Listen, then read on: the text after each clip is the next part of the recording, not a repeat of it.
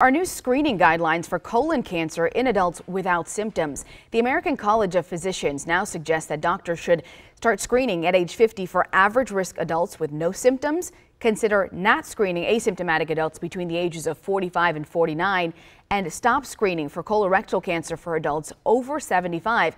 Now, the American Cancer Society still recommends the screening for average risk patients at age 45 and even released a statement saying it strongly disagrees with the American College of Physicians' new guidance.